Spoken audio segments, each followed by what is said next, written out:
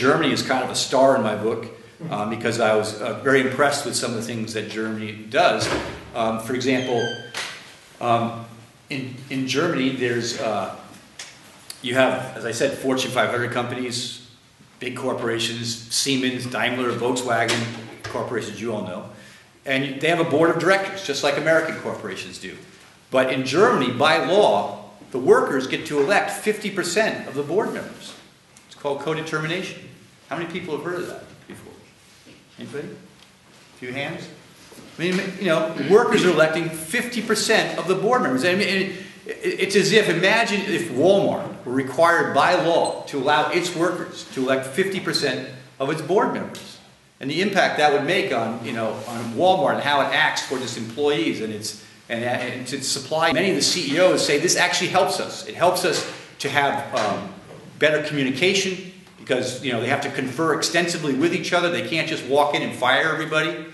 Um, you know, you also have things like works councils at your job site. You know, in the United States during this crisis, the unemployment rate is almost doubled. Millions of Americans have been laid off. Here in Germany, instead of laying off millions of Germans, they had everybody cut back a little bit. For instead of working 100%, maybe now they're working 90%. But during the good years, they put money aside. So if you're working 90%, you're getting 95% of pay. And this, in turn, has a number of other uh, beneficial consequences. First, you, you keep more money in more people's pockets. Because what happens in a downturn like this is businesses lay people off. Those people now have less money to spend. They quit buying. Businesses have fewer customers. They got to lay more people off. You get into this downward cycle that becomes hard to stop uh, without some sort of intervention. Well, well, this short work prevents that downward cycle from being too, too severe. Suspended their free market fundamentalism. But when it came time to help struggling families, who were losing their homes, losing their jobs. You know, instead of trying something like short work, suddenly they refine their free market fundamentalism. And conversely, I think it really shows how Europe and Germany and other countries, other countries did this short work thing. Den, uh, uh, Netherlands did, uh, Denmark to some degree, various countries tried different things. It's predictions of what will happen if we don't. And so here again, you see um, the average German, average European emits half the carbon of the average American. Half. That's a lot. That's a big difference. Uses half the electricity of the average American. It takes 40% more fuel to go a mile in an American car than it does in a, in a, in a European car or a German car, um, on average. In, in Germany and in Europe in general, uh, you've done a lot more to start using things like low wattage light bulbs. And, uh, you know, you've got what, those CFLs or fluorescents, those are low wattage. Um, you know, in America, we're still kind of using those fireball incandescents, huge building, and it's completely encased in this exterior that um, looks like uh, uh, blinds on a window shade, uh, but they're quite large, like you know the flaps you see on the on an airplane wing or something. And these blinds um, move automatically depending on how much sunlight is, you know, whether how much uh, light is shining in, what the temperature is outside, with the goal being to uh, increase the amount of daylight and decrease the amount of artificial light and um, increasing the passive solar heating that goes on in the building. And then they have uh, a very uh, efficient and rather sophisticated circulation system for taking that passive solar and distributing it throughout the building. And you can connect them together and, create these grids, and they have pistons inside. And as, as they bob up and down in the waves, they just create power 24 7. Off the coast of Britain, they, uh, they took, they, imagine taking a windmill and sinking it beneath the sea and uh, embedded into the seafloor where it just churns 24 7 in the ocean currents, creating power. So these are the things that are being done because the reality is that there's not going to be any one power source that's going to dominate the 21st century like oil did in, in the uh, 20th and, and late 19th centuries. It's going to be, uh, each place is going to have its own regional mix of different energy sources and power sources. Um, and, and so it's going to be really important to have the ability to plug into the grid all sorts of different energy sources, having things like feed-in tariffs, where you know you can put solar on your own home, and if you produce more solar than you need, more energy than you need, it goes into the grid, and you actually get paid for it. Germany passed this law, and as a result, people are getting paid by the power companies for producing more, the world's largest per capita emitter. I mean, China emits a lot of carbon too, but per capita, they're, they're way down there. Um, uh, you know, the U.S. Uh, the average American emits four, five, six times more carbon per person than someone in China. And so, um, you know, they were hoping Obama would come to the table with a, a, a transformative commitment for carbon change, uh, carbon reduction. And unfortunately, when you boil it all down, he came to the table with about 3%. And I mean, that's, in terms of carbon, that's practically a rounding error. And so he really came to the table with nothing, and that meant that allowed the Chinese to do nothing. And so the Europeans were sort of frozen out, you know, sort of standing there like a, a bride, a jilted bride at the altar.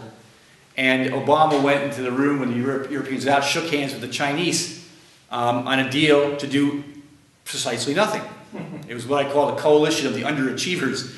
And it was reported in the US media as Obama brokered the deal to save Copenhagen.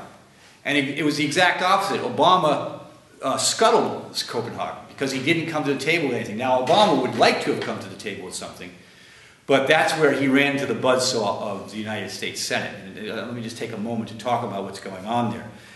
In the United States Senate, um, no one, when Obama became president, no one expected that we were going to need 60 votes out of 100 instead of 51, a majority, for everything.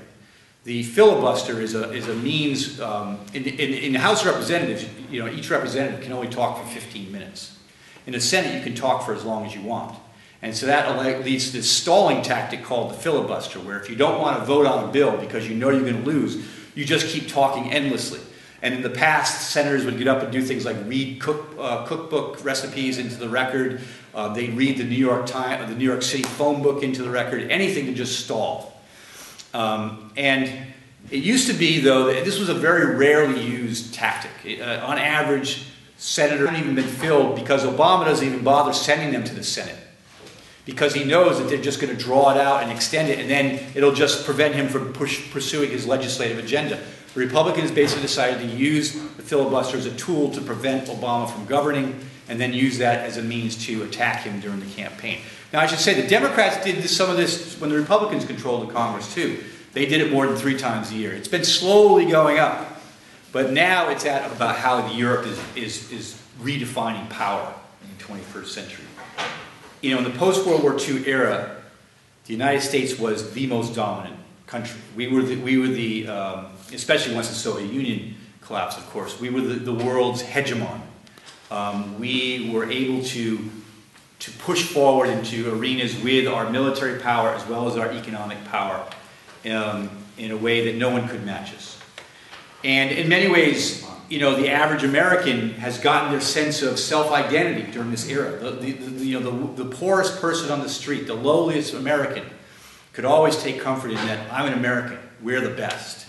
We're the, the world's hegemon. You know, it's a subtle process, but there's no question that Americans have identified with that and, and now that, you know, America is still a strong country and has many things going for it, but we're not the dominant power we were in the post-World War II era. And this is a big adjustment for Americans. They're still used to thinking out of the old box, that we can use our military power around the world to get what we want. Not effective if you don't win, then you actually suffer a loss because now there's a perception that the America's military power is, is, you know, can still make a heck of a mess, drop bombs on people, but it can't necessarily win these battles. And um, it really raises the question of, you know, what is power in the 21st century? The top analyst in CIA has, has written that military power in this 21st century will be the least useful form of power. That, you know, when you think about what I said at the beginning of my discussion, the world is facing these two immense challenges. How do you allow, allow the Chinese and the Indians and the Brazils to seat at the table? We do that in a way that doesn't burn up the planet um, through carbon emissions. These are the challenges. Military power doesn't really help with that very much. Um, trajectory is in the right direction. Um, so this, this to me is, uh, so how we get the U.S. to do it? Uh, oh, this is this is the question that the European I took up with the European Commission. I, you know, I said to them, you know, as I said at the beginning, how are you guys lo losing this public relations battle to China? I mean, you know, China is, it's amazing what they, they, the, the uh, Communist Party has accomplished there, but it's, um, it's a country where, um, you know, if you travel from the rural areas to the cities, it's like a form of time travel. You're going from a place where they're still plowing fields with water buffalo to, you know, these modern cities with beautifully designed buildings, and you know, I mean, it's an architecture's dream in, in Shanghai and Beijing with some of the buildings they've made there.